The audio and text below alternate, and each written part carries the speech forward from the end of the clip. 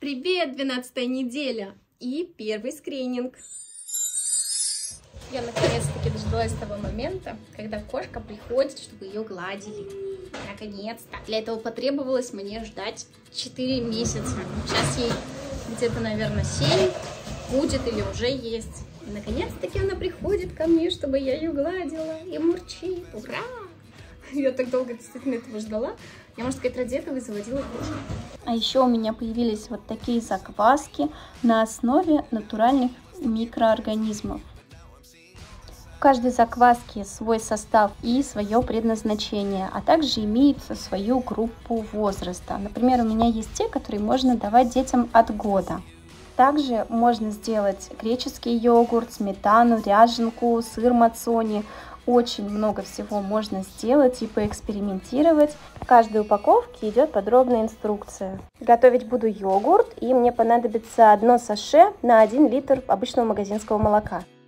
Подогрела до 39 градусов, добавила один стик и тщательно перемешала. Разлила вот по формочкам заранее заготовленным и простерилизованным. Завязала на всякий случай тряпочкой, чтобы сверху не пылились, и поставила к батарее, приблизительно на 14 часов. Также еще решила сделать творог. Инструкция вся та же самая, за исключением конца, и хочу сделать его в мультиварке. Я сняла уже одну баночку спустя 6 часов, вот спустя 7 часов.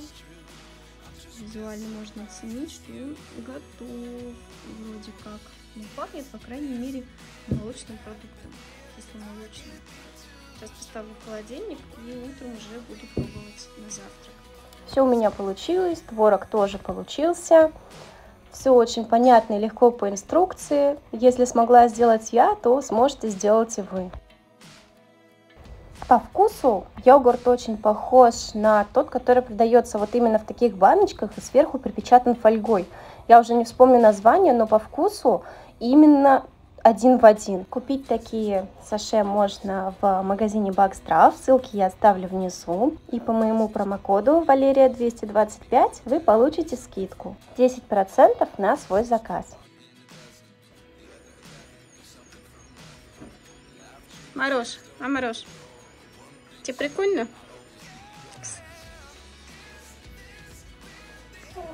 Корову?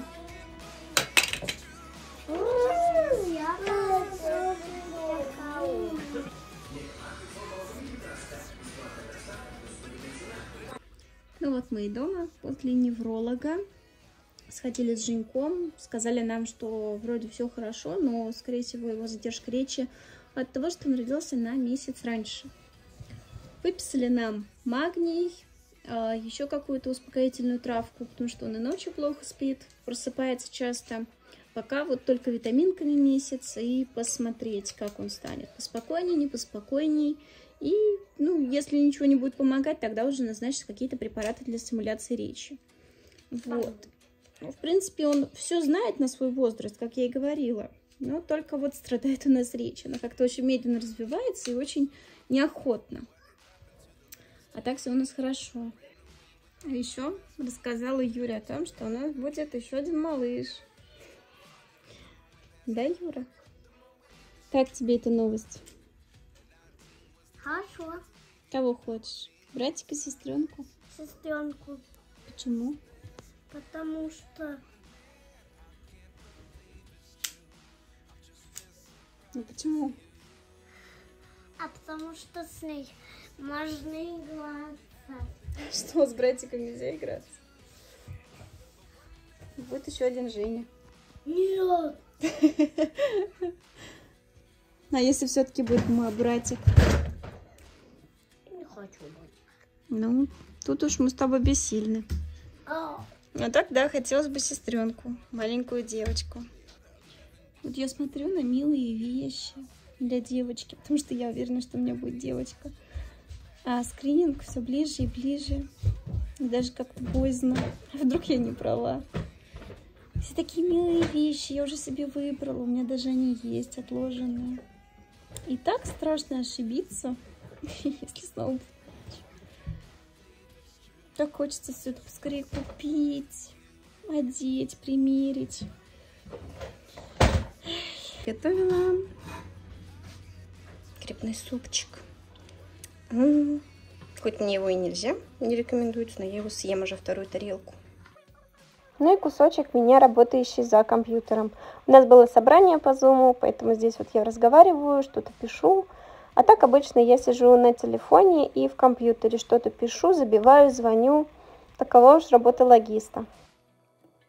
Кстати, хотела вам показать свои новые покупочки.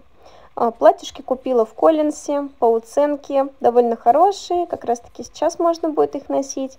Сначала думала купить их для дома, а потом оказалось, что они вроде ничего, особенно вот это вот красненькое. Его можно будет одеть куда-нибудь в гости или на прием к врачу. Также купила себе белую блузочку, можно также одевать ее с животиком, она достаточно свободная, позволяет это сделать. Ну, либо уже после родов смогу ее одевать. И купила кофточку на Валберисе, как и джинсы. Джинсы у меня специальные для беременных, под животик снизу. Ссылочки оставлю в описании. Я дошила наволочку на подушечку желтенькую, она там внутри. Такая вот наволочка, чтобы не просто все желтенькое в горошек было, а хоть немножечко разнообразие. И также сейчас купила молнию, делаю вот этот вот э, кокон спальный, мешок забыла, как называется, короче. Ну, получается, конечно, не так, как в магазине, но довольно неплохо для моих кривых рук, скажу так. В общем, это я сделаю сама. Потом, может, возьму у мамы машинку и все это красивенько прострочу. А пока вот так вот немножко криво. А еще у нас прекрасная новость. На два месяца отключили лифт. А мы живем на девятом этаже. Это жесть. Я дошла только до четвертого, уже запыхалась. А как ходить с детьми до девятого, я не представляю. Сейчас быстренько приготовлю ужин, пока детей нету. У меня будет просто жареная картошечка в новой красивой формочке. И, наконец-таки, расскажу вам, как прошел у меня первый скрининг и, собственно, посещение офтальмолога. Только пришла домой с всего, что у меня сегодня было. Глаза у меня еще в норму не пришли, поэтому такие огромные. В них, вернее, в них, в очках ничего не видно в телефоне, только надо снимать очки, когда если что-то прочитать, посмотреть. Короче, буду сегодня ходить целый день с такими огромными глазами. Сделала ЭКГ, сделала, проверили сетчатку глаза. Все нормально, есть что-то такое не критическое, которое ни на что не влияет. Сказали прийти в 30 недель, еще потом повторно проверить. Ну, в принципе, все хорошо. Вот. А, я просто запыхалась, на девятый этаж подниматься, это, конечно, капец. А так придется еще делать до декабря. У нас две, два месяца будут ремонтировать лифт, ставить новый. И это кошмар, какое испытание. Ноги накачают только так. На скрининге тоже все хорошо. Малыш или малышка, я не знаю. Я попросила не говорить мне пол. Мы потом с мужем узнаем у платного УЗИ, когда будет уже неделек побольше, и будет вариант не ошибиться. Все хорошо, малыш соответствует сроку, носик нормальный. Я помню, с Юрой у меня носик был на 1 миллиметр короче нормы. Еще и неправильно сдала кровь скрининговую. Это там, короче, такой капец был, поэтому теперь я очень сильно боюсь давать каждый скрининг, каждую кровь, и стараюсь перед ней вообще ничего не есть. Не знаю, влияет это, не влияет, но я стараюсь очень ничего не есть, чтобы все было нормально. Ну, конечно, мне пришлось перед УЗИ здесь съесть шоколадку, чтобы малыш шевелился. Ну и он шевелился, убегал от датчика только так. Меня просили и так лечить, так и сяк. Чтобы посмотреть, он все убегал и убегал. Или убегала, не знаю. Очень было велико желание узнать, но все-таки не узнала. И пока остается тайной, кто же у нас будет. На следующей неделе пойду к врачу, посмотрим ЭКГ и еще какие-то, по-моему, анализы я сдавала. Ну и все. Вот на этом заканчивается 12 неделька. Увидимся с вами на следующей, на 13 -й.